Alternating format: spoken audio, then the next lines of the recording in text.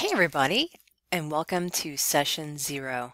Um, be sure you're aware of the news feed where uh, current messages about what's going on in the class are posted. We're going to go take a look at the content module and I'm going to walk you through it as fast as I can. I have already made this video previously and I've already made it over 15 minutes so I'm basically if I do that I start over. So I've started over and I'm going to try to keep this under 15 minutes. Um, before I go into the content, I'm going to go over here to grades and checklist and I'm going to open up the session zero checklist. And I'm going to have that handy um, off to the side as I kind of go through the items on this checklist. So you can also do that. Each each module, each session, you can um, click things, select them, and check them off as you complete them. And that's really handy for letting you know what you've done in a given session and what remains to be done. I think it's really handy. And it also tells you when you did it. Um, this checklist also appears in the module itself. You'll see that in a minute in a slightly, slightly different format but also in a way that you can check it off there as well. It's kind of cool. You can check it off in two, two different ways. Okay, so if we go to content, um, currently I only have one session open, and as much as several of you will be clamoring for me to open the rest up immediately, I'm not going to do it until at least a week into this first session. So I'm going to wait at least a week into the first semester. There's a reason for that because people they, they just start racing. They race into session one, and, and there's just a small issue with racing into session one where we form groups.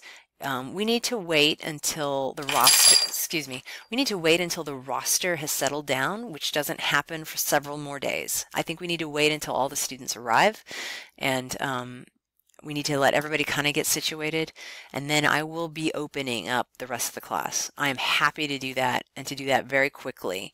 Um, but so there's two issues. One is I don't want to open it up, everything up immediately. The second issue is I can't currently open everything up anyway. I have work to do to sort of straighten out some of the threads that I have been changing and improving, I hope. I've made some improvements and that's why this class is opening, has opened on, um, you know, Monday at 6 p.m., 7 p.m., and not sooner, is because these improvements run through the entire class and they require adjustments in many places because of the way I design things with text. I use lots of writing, my own writing in the class and you know, I provide checklists. I put, you know, there's multiple places so that you hopefully, hopefully know what's up. It's also about um, keeping everything totally consistent. So anyway, I'm still tweaking the upcoming sessions, so I couldn't open them for you right now, even if I wanted to. Um, I need to keep keep doing that. But starting around uh, the halfway point of this first session, I will probably open up session one, and then I'll continue to revise those future ones, make sure they're ready to go, and then I'll slowly but surely get them open by hopefully February 1st. All right, so let's take a look at these um, pages. Notice how we end with the checklist at the end. Um, normally I'll put the checklist at the beginning, but in the first session I like to put it at the end to kind of keep it out of the way. But again, it's the same as this thing that I just showed you. All right, so you've got your, your welcome page. Uh, you can um, check out, you're watching this welcome video if you're watching it. It's right, it's going to be placed right here. Um, and I'm not actually going to say much about this page. I always have a welcome page with a welcome video. The one thing I would say is decorative means that welcome videos are optional. You don't have to watch them because I use text. I write everything out that you need to know. Um, okay, so we've got the syllabus.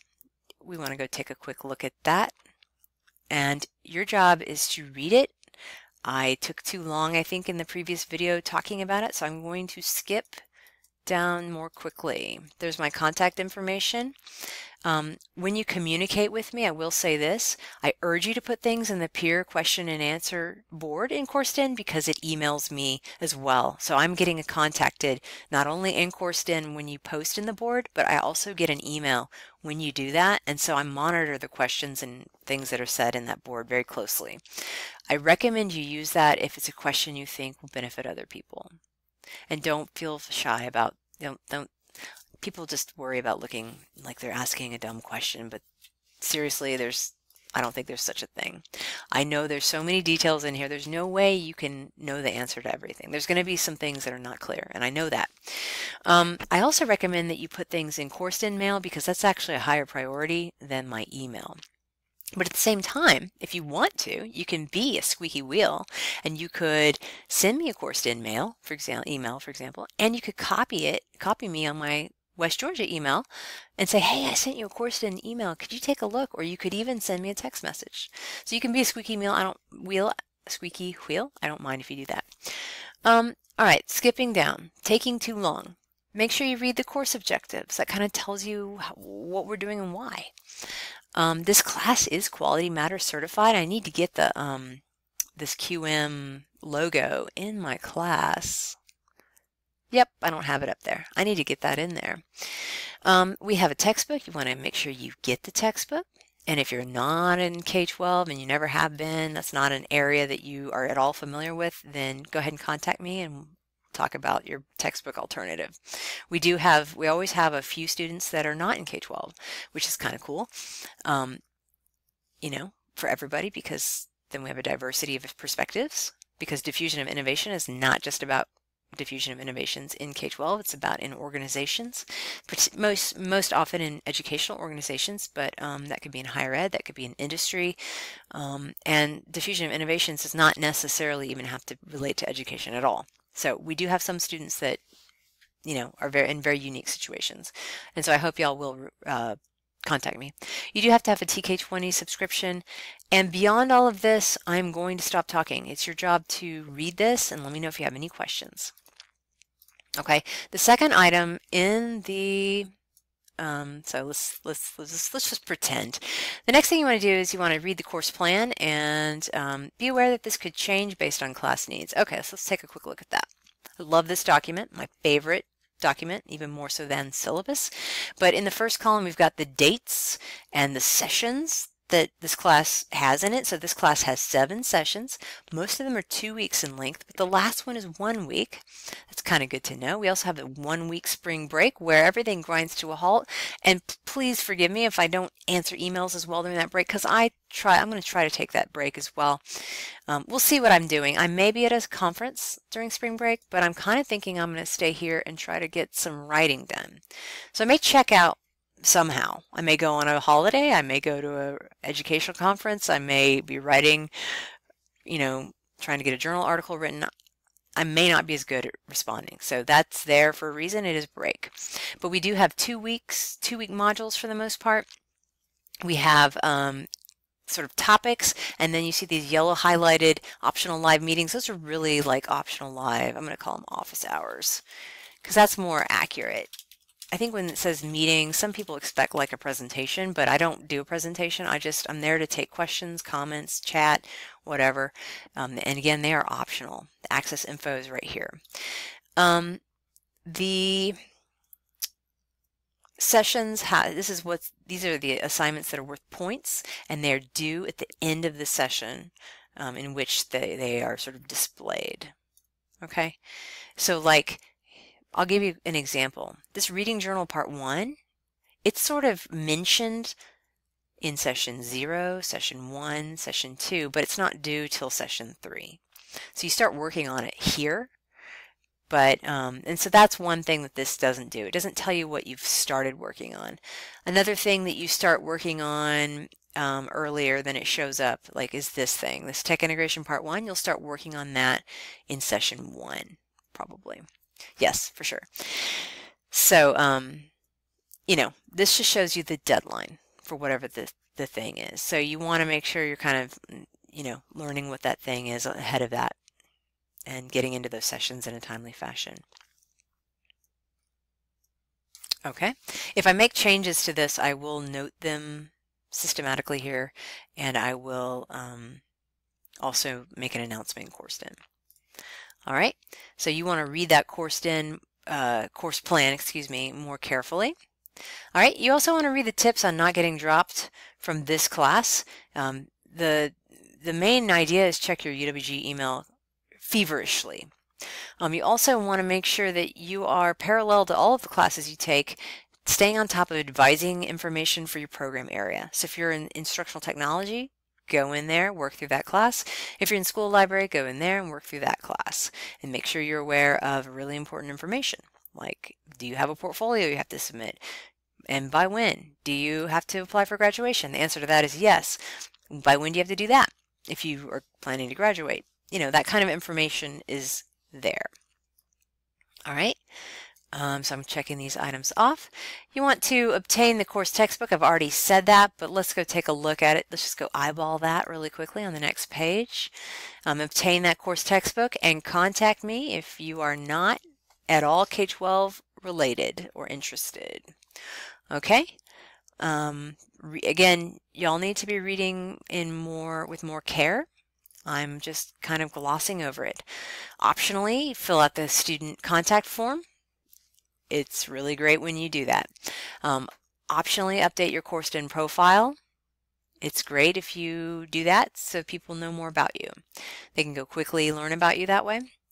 Um, I recommend you get CourseDen notifications, but I totally understand if you don't want to. I have lately stopped, I've like aggressively turn off notifications because partly because apps and websites are much better at signing you up for them automatically. So we have to be more aggressive. But I do think that CourseDen notifications are worth it. I actually get them on my phone all the time, and they help me make sure that I'm building classes appropriately, appropriately that I have everything up to date. They're, they're helpful to me. I love them.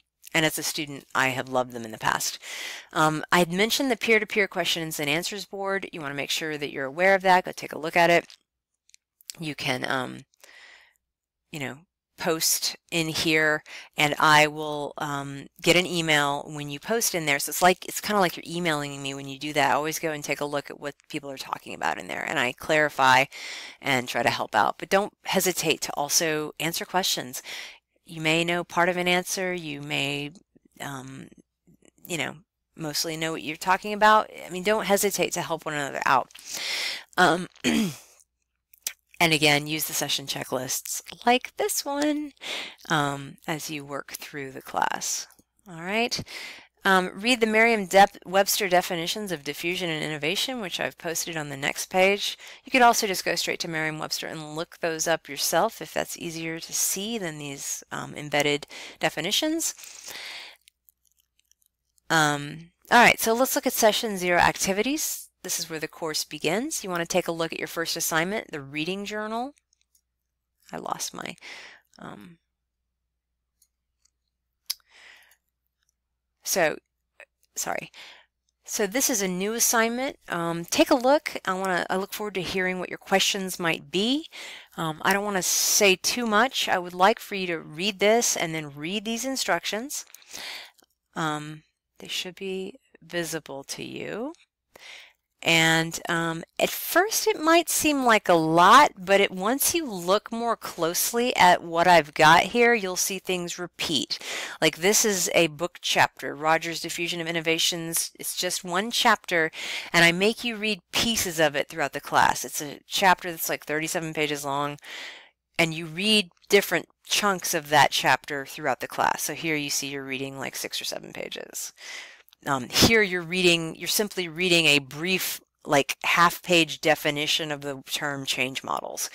Here you're reading from the textbook, which is a very light read. It's, it's a very small book. It's only 100 pages long. Um, and so uh, you generally only read about a chapter at a time. Um, not, not hard. Um, so it seems like it's a lot, but it's really not. Like these essential conditions, they take, uh, they take 10 minutes max to read.